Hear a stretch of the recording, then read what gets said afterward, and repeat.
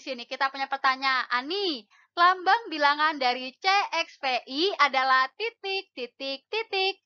Yang kedua, lambang bilangan dari CXII adalah titik, titik, titik. Yuk kita kerjakan bersama-sama. Semangat terus ya, co-friends. Jadi untuk mengerjakan soal ini, kita ketahui dulu ya.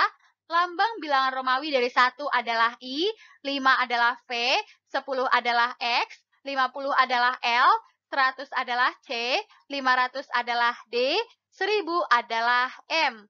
Nah, sekarang kita ingat-ingat lagi ya. Dalam bilangan Romawi, pengulangan lambang maksimal hanya tiga kali, kecuali untuk V, L, dan D. Selanjutnya, jika lambang yang nilainya lebih kecil ditulis sebelah kanan, maka operasi hitungnya penjumlahan. Kemudian, jika lambang yang nilainya lebih besar ditulis sebelah kanan, maka artinya kita akan menghitung selisihnya ya. Kita lihat nih, ada CXVI. Kita ketahui C lebih besar dari X, maka operasi hitungnya penjumlahan. X lebih besar dari V, maka operasi hitungnya penjumlahan. V lebih besar dari I, maka operasi hitungnya penjumlahan ya.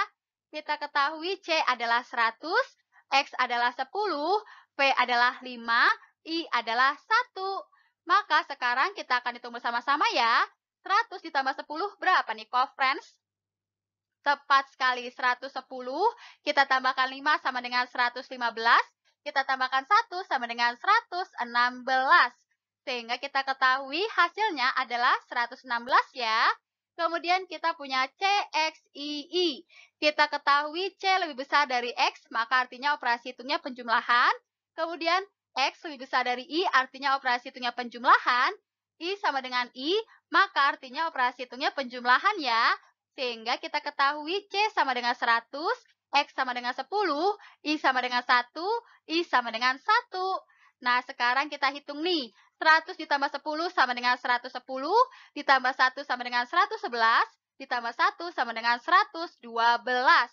Maka jawabannya adalah 112 ya. Wah, mudah sekali kan co-friends menemukannya. Terima kasih ya sudah membantu kakak menyelesaikan soal ini. Sampai jumpa co-friends, semangat terus ya belajarnya.